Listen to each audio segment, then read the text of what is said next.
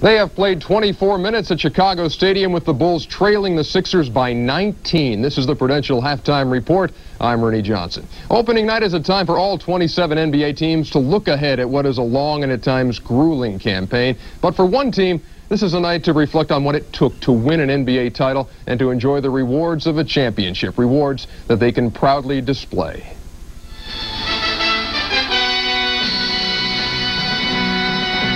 This is the scene at the Palace of Auburn Hills tonight. Ring night. Rings for the champs. Banners proclaiming their dominance in the NBA. Winning back-to-back -back NBA titles is one of the most difficult accomplishments in team sports. And that feat now ranks the Pistons among the greatest NBA teams of all time.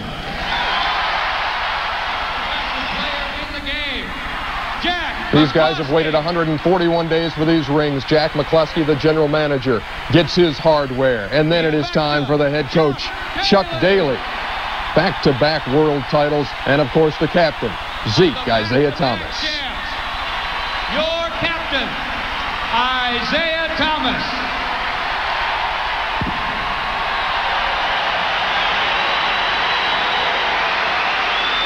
I'd just like to say Basketball is truly is the greatest game in the world, and we are honored and happy, our teammates, to be playing in front of the greatest fans in the world. We thank you for all of your support.